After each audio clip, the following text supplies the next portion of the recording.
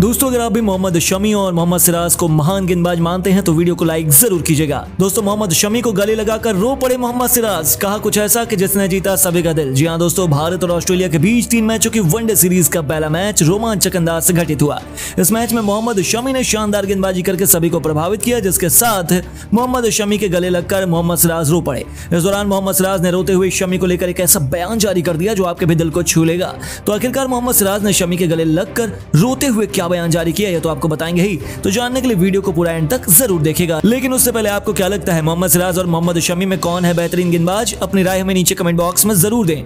दोस्तों, जैसा कि आपको पता है, भारत और ऑस्ट्रेलिया के बीच तीन मैचों की वनडे सीरीज़ खेली जा रही है। आपको बता दें, इस मैच में भारतीय टीम टॉस जीतकर पहले गेंदबाजी करने के लिए मैदान में उतरी और बल्लेबाजी करने के लिए ऑस्ट्रेलिया की टीम को आमंत्रित किया। इस दौरान ऑस्ट्रेलिया की टीम 50 ओवर में दो सौ छिहत्तर रन बनाकर ऑल आउट हो गई, जहाँ पर ऑस्ट्रेलिया के लिए सबसे ज़्यादा बावन रन डेविड वार्नर ने बनाए। जोश इंग्लिश ने 45 और स्टीव स्मिथ ने 41 रन का योगदान दिया। लाबुशेन ने भी उनतालीस रन बनाए तो वहीं भारत के लिए मोहम्मद शमी ने पाँच विकेट लिए। बुमराह, अश्विन और जडेजा को एक एक विकेट मिला और इस दौरान भारतीय टीम की तरफ़ से मोहम्मद शमी से अंदर गेंदबाजी करने के बाद जब ड्रेसिंग रूम में लौटने लगे तो मोहम्मद सिराज ने उनसे गले मिलकर उन्हें बधाई दी, जिसके बाद उन्होंने रोते हुए मोहम्मद शमी के साथ भारतीय टीम को लेकर एक दिल जीत लेने वाला बयान जारी कर दिया है, जिसमें मोहम्मद सिराज ने बयान देते हुए कहा कि इस मैच में भारतीय टीम की तरफ़ से मोहम्मद शमी की ज़बरदस्त गेंदबाजी देखने को मिली है। मोहम्मद शमी ने शानदार गेंदबाजी करते हुए बता दिया है कि वह भारतीय टीम के लिए सबसे महत्वपूर्ण गेंदबाज है। उन्होंने इस मैच में भारत के लिए एक ऐसी गेंदबाजी की है जिसके चलते भारत का जितना एक तरफ़ हो चुका है। हालाँकि भारतीय टीम की गेंदबाजी पहले से ही मज़बूत थी, लेकिन मुझे आज इस मैच में न खिलाकर भारतीय टीम मैनेजमेंट ने सही फैसला किया है। क्योंकि मुझे आराम की भी ज़रूरत थी और जिस प्रकार से मोहम्मद शमी को मेरी जगह मौका दिया गया, उन्होंने इसका फ़ायदा उठाया और अब भारतीय टीम मैनेजमेंट के लिए चिंता पैदा कर दिया है क्या वो किन दो गेंदबाजों को एक साथ खिलाने का प्रयास करेंगे। मोहम्मद शमी की शानदार गेंदबाजी ने मेरे साथ पूरे भारत देश का दिल जीत लिया है, जिसका गवाह आज पूरा क्रिकेट जगत बन चुका है। इसके अलावा, उन्होंने आगे बयान देते हुए कहा कि भारतीय टीम के लिए मोहम्मद शमी हो या मोहम्मद सिराज या फिर जसप्रीत बुमराह, सभी को देश के लिए खेलना है। जिस प्रकार से सभी ने शानदार गेंदबाजी पिछले कुछ समय से की है, उसकी तारीफ़ हर कोई कर रहा है, लेकिन जिस प्रकार से इस मैच में मोहम्मद शमी ने शानदार गेंदबाजी की है। मोहम्मद शमी ने शानदार गेंदबाजी करके बता दिया है कि भारतीय टीम के लिए सिर्फ़ दो ही गेंदबाज मुख्य नहीं है, बल्कि तीन गेंदबाज मुख्य बन चुके हैं। ऐसे में इन तीनों गेंदबाजों को एक साथ खिलाकर भारत विरोधी टीम के ऊपर आसानी से दबाव डाला जा सकता है। भारतीय टीम के लिए मोहम्मद शमी की शानदार गेंदबाजी की सराहना हर कोई कर रहा है। मैं चाहता हूँ कि मोहम्मद शमी इसी तरीके से बेहतरीन गेंदबाजी करके भारतीय टीम को जीत दिलाने का काम करते हुए वर्ल्ड कप की टीम में अपने जगह बनाकर वर्ल्ड कप भी भारत के नाम करा दें। तो दोस्तों, मोहम्मद शमी की शानदार गेंदबाजी को आप दस में कितने अंक देना चाहेंगे? अपनी राय में नीचे कमेंट बॉक्स में ज़रूर। दोस्तों, मोहाली के मैदान पर पहले वनडे में मोहम्मद शमी और रविंद्र जडेजा की घातक गेंदबाजी के आगे कंगारू टीम हुई धाराशाही। तो आखिर कैसे शमी ने कातिलाना गेंदबाजी से तोड़ी ऑस्ट्रेलिया की कमर और फिर जडेजा ने अपनी फिरकी का जादू दिखाकर मैच में लाया ज़बरदस्त रोमांच? घातक गेंदबाजी के बाद विस्फोटक बल्लेबाजी के बीच हुए इस ज़बरदस्त घमासान की पूरी हाईलाइट हम आपको दिखाएँगे, लेकिन उससे पहले आपको क्या लगता है? कि जसप्रीत बुमराह और मोहम्मद शमी में सबसे खतरनाक गेंदबाज कौन है? नीचे कमेंट करके ज़रूर बताइएगा। दोस्तों, क्रिकेट का महाकुंभ, यानी विश्व का, सब विश्व कप से पहले भारत और ऑस्ट्रेलिया के बीच सीरीज़ का पहला मुकाबला खेला गया, जहाँ भारतीय टीम ने टॉस जीतकर पहले गेंदबाजी करने का फैसला किया और कंगारुओं को बैटिंग करने के लिए आमंत्रित किया। टीम की तरफ़ से पारी की शुरुआत करने के लिए मिचेल मार्श के साथ मैदान पर डेविड वार्नर उतरे और उनके सामने गेंद लेकर मोहम्मद शमी तैयार खड़े थे। मिचेल मार्श ने शमी की दूसरी गेंद पर करारा शॉट लगाकर चौका बटोर लिया, लेकिन मोहम्मद शमी भी ज़्यादा समय न लेते हुए चौथी गेंद पर उन्हें स्लिप में कैच आउट कराकर ऑस्ट्रेलिया की टीम को चार रनों पर ही पहला झटका दे दिया और मार्श को पवेलियन का रास्ता दिखा दिया। भारत के गेंदबाज शानदार फॉर्म में नज़र आ रहे थे और अब अपनी टीम को संभालने के लिए मैदान पर स्टीव स्मिथ भी आ चुके थे। बुमराह ने भी अपनी दूसरी ओवर फेंकने स्मिथ को मिडन ओवर खिला दिया और स्मिथ इस ओवर में भी एक भी रन नहीं बना पाए। और ऑस्ट्रेलियाई बल्लेबाजों को रन बनाने में काफ़ी दिक्कतें हो रही थी और जसप्रीत बुमराह ने अपना दूसरा ओवर भी स्टीव स्मिथ को मिडन खिला दिया और बुमराह ने लगातार दूसरा मिडन इस मैच में फेंक दिया।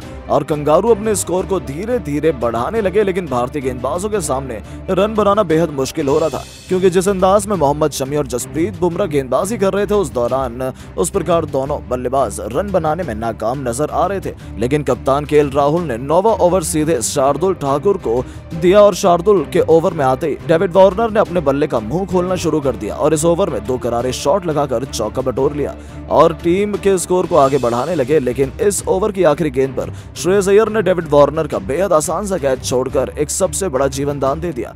वहीं पावर प्ले का अंतिम ओवर फेंकने के लिए कप्तान राहुल ने रविचंद्रन अश्विन को छीन लिया।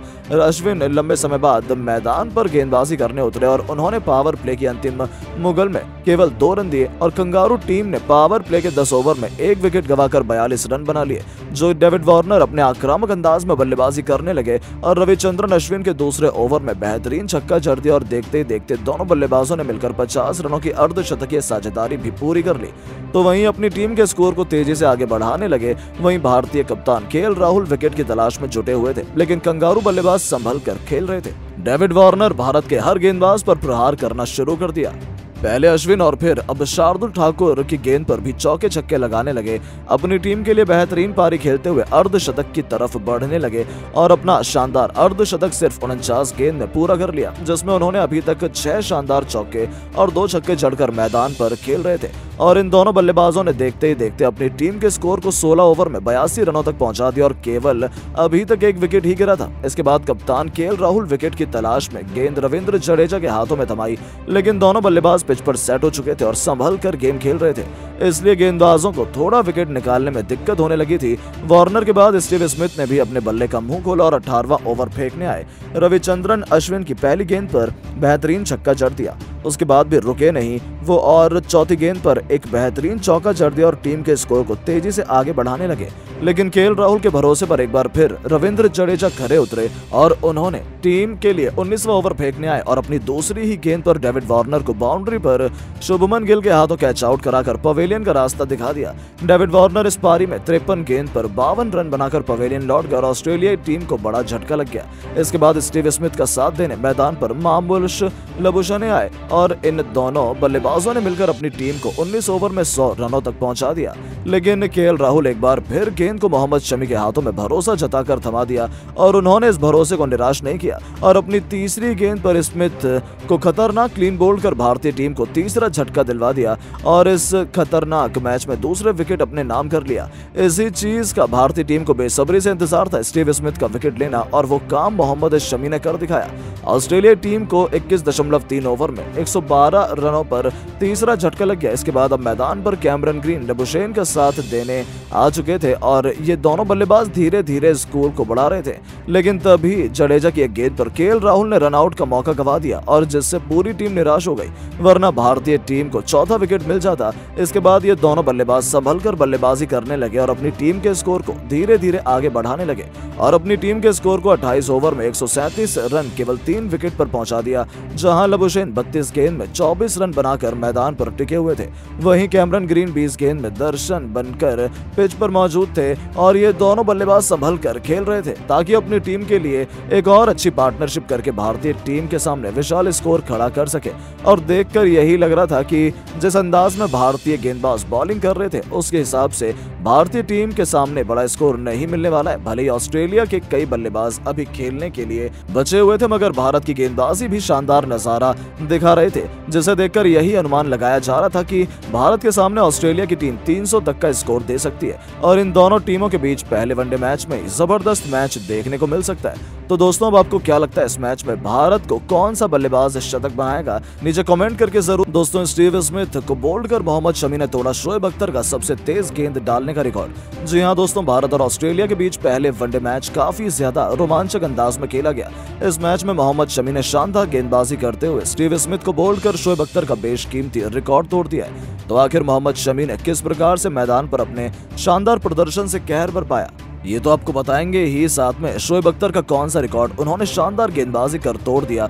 इस बारे में भी हम आपको बताने वाले हैं तो जानने के लिए वीडियो को पूरा एंड तक ज़रूर देखिएगा। लेकिन उससे पहले आपको क्या लगता है, मोहम्मद शमी और जसप्रीत बुमराह में से कौन है बेहतरीन गेंदबाज? अपनी राय नीचे कमेंट बॉक्स में ज़रूर दें। दोस्तों, एशिया कप का चैंपियन बनने के बाद अब भारतीय टीम वर्ल्ड कप से पहले ऑस्ट्रेलिया के खिलाफ वनडे सीरीज़ खेल रही है, जिसका पहला मैच मोहाली के मैदान पर खेला गया। इस मैच में भारतीय टीम के गेंदबाज मोहम्मद शमी ने शानदार प्रदर्शन किया। किया आपको बता दें, इस मैच के अंदर भारतीय टीम के कप्तान केएल राहुल ने टॉस जीतकर पहले गेंदबाजी करने का फैसला किया। इस दौरान भारतीय टीम के गेंदबाजों ने शानदार प्रदर्शन किया, लेकिन बेहतरीन गेंदबाजी मोहम्मद शमी ने की, जिन्होंने पहले ओवर में मिशेल मार्च को चार रन पर गिल के हाथों कैच आउट करा दिया। तो वहीं वापसी करते हुए भारत के खिलाफ हमेशा बेहतर प्रदर्शन करने वाले स्टीव स्मिथ को इकतालीस रन पर बोल्ड कर पवेलियन का रास्ता दिखा दिया। जिसके चलते भारतीय टीम मैच में वापसी कर पाई। ऐसे में मोहम्मद शमी की शानदार गेंदबाजी की तारीफ़ हर कोई कर रहा है। लेकिन इस बीच स्मिथ को बोल्ड कर मोहम्मद शमी ने शोएब अख्तर का बड़ा रिकॉर्ड तोड़ दिया है। जी हाँ दोस्तों 22 ओवर में जब गेंदबाजी करने के लिए मोहम्मद शमी आए तो स्टीव स्मिथ बेहतरीन बल्लेबाजी कर रहे थे। इस दौरान वो इकतालीस रन पर खेल रहे थे, लेकिन इसी बीच मोहम्मद शमी ने अपनी लहराती हुई गेंद पर स्मिथ को क्लीन बोल्ड कर दिया और स्मिथ पवेलियन को लौट गए। इस दौरान मोहम्मद शमी ने ज़बरदस्त गेंदबाजी करते हुए सबसे तेज गेंद डाल दी। दरअसल उन्होंने बेहतरीन गेंदबाजी करते हुए स्टीव स्मिथ के सामने एक सौ इकतीस किलोमीटर प्रति घंटे की रफ्तार से गेंद डाली। जो काफ़ी ज़्यादा तेज तो नहीं थी, लेकिन स्टीव स्मिथ के सामने किसी भी गेंदबाज के द्वारा सबसे तेज गेंद थी, जिस पर स्मिथ ने बोल्ड होकर अपना विकेट दिया हो। इस दौरान उन्होंने शोएब अख्तर के सबसे तेज गेंद फेंकने के रिकॉर्ड को भी तोड़ दिया तो दोस्तों, मोहम्मद शमी की शानदार गेंदबाजी को आप दस में से कितने अंक देना चाहेंगे, अपनी राय नीचे कमेंट बॉक्स में ज़रूर दें और ऐसी शानदार खबरों के लिए चैनल को सब्सक्राइब ज़रूर करें। धन्यवाद।